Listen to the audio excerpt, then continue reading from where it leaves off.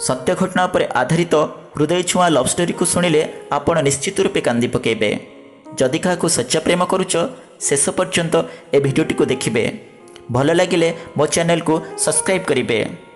ଆଜି ପ୍ରିୟାର ବାର୍ଥଡେ ଆଉ ପ୍ରିୟାକୁ ପୁରା ଭରସା। ରାହୁଲ ଆଜି ଭଳି ଭଲ ଦିନରେ ତାକୁ ତା ରାହୁଲ ମ୍ୟାରେଜ୍ ପାଇଁ ପ୍ରପୋଜ୍ କରିବ। ରାହୁଲ ପ୍ରିୟାକୁ କଥା ଦେଇଥିଲା ତା ବାର୍ଥଡେରେ ହୀରା ଅଙ୍ଗୁଠି ଗିଫ୍ଟ ଦେଇ ପ୍ରପୋଜ୍ କରିବ। ତେଣୁ ପ୍ରିୟା ରାହୁଲର ବାଟ ଚାହିଁ ବସିଛି। ଆଜି ଭଳି ଖୁସିର ଦିନରେ ରାହୁଲ କେତେବେଳେ ଆସିବ? ଆଉ ତାକୁ ହୀରା ଅଙ୍ଗୁଠି ଉପହାର ଦେଇ ପ୍ରପୋଜ୍ କରିବ? ଏଣୁ ପ୍ରିୟାର ପାଦ ତଳେ ଲାଗୁନି। ଏତିକି ବେଳେ କବାଟ ଠକ୍ ଠକ୍ ହେବାର ଆବାଜ ଆସିଲା। ପ୍ରିୟା ଯାଇ କବାଟ ଖୋଲିଲା।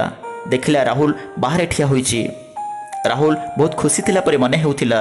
ଆଉ ରାହୁଲ କହିଲା ପ୍ରିୟା ମୋତେ କ୍ଷମା କରିଦେବ। ମୋର ଟିକେ ଲେଟ୍ ହେଇଗଲା। ପ୍ରିୟା କହିଲା ଠିକ୍ ଅଛି ଚଳିବ। ଆଚ୍ଛା କହିଲ ଦେଖି ମୋ ଉପହାର କାହିଁ? ରାହୁଲ ଏକ ଟେଡି ବିୟର ପ୍ରିୟାର ହାତକୁ ବଢ଼େଇ ଦେଇ କହିଲା ଏ ନିଅ ତୁମ ଉପହାର। Happy birthday Priya. ପ୍ରିୟା କହିଲା ଏ କ'ଣ? ପ୍ରିୟା ଭାବିଥିଲା ରାହୁଲ ତା ପାଇଁ ହୀରା ଆଙ୍ଗୁଠି ଆଜି ଭଳି ଦିନରେ ଉପହାର ଦେବ।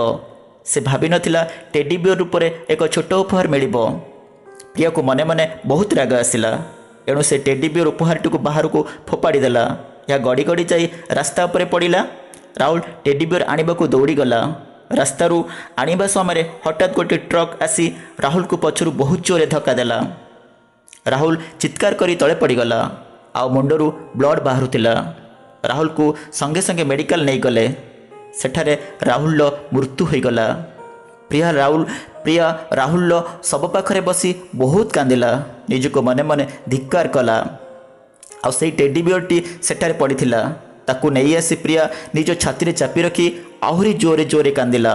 ହଠାତ୍ ପ୍ରିୟାର ନଜର ଟେଡି ବିୟର ଉପରେ ଥିବା ଏକ ଛୋଟ ବଟମ୍ ଉପରେ ପଡ଼ିଲା।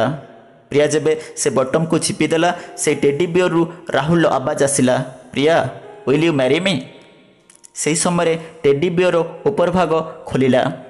ସେହି ସମୟରେ ଟେଡି ବିୟର ଉପର ଭାଗ ଖୋଲିଲା ଏବଂ ଗୋଟିଏ ହୀରା ଆଙ୍ଗୁଠି ବାହାରି ଆସିଲା। ତାକୁ ଦେଖି ପ୍ରିୟା ଭୋ ଭୋ ହୋଇ କାନ୍ଦିଲା। ଆଉ ସେ ନିଜକୁ ବହୁତ ଘୃଣା କଲା। ସେ ଏ କ'ଣ କଲା? ସେ ଏ କ'ଣ କଲା? ନିଜ ହାତରେ ହସ ଖୁସିରେ ଗଢ଼ିବାକୁ ଯାଉଥିବା ସୁନାର ସଂସାରଟାକୁ ଭାଙ୍ଗିରୁଜି ଚୁନମାର କରିଦେଲା ଏମିତି କହି ପାଗଳିଙ୍କ ପରି କାନ୍ଦୁଥିଲା। ଏହି ଷ୍ଟୋରିରୁ ଆମେ ଏଇଆ ଶିଖିଲେ ଆମ ଜୀବନରେ ଛୋଟ ବଡ଼ ଘଟଣା ଯାହା ଘଟୁ ପଛେ ନିଜ ଲୋକଙ୍କ ଉପରେ କେବେ ରାଗିବା ଉଚିତ ନୁହଁ। ଯଦି କେବେ ରାଗିଯାଅ ସଙ୍ଗେ ସଙ୍ଗେ ମାଫ କରିଦେବା ଉଚିତ। ନିଜର ଲୋକଙ୍କୁ ମାଫ କରିଦେଲେ କିମ୍ବା କ୍ଷମା କରିଦେଲେ କେହି ଛୋଟ ବଡ଼ ହୋଇଯାଏନି।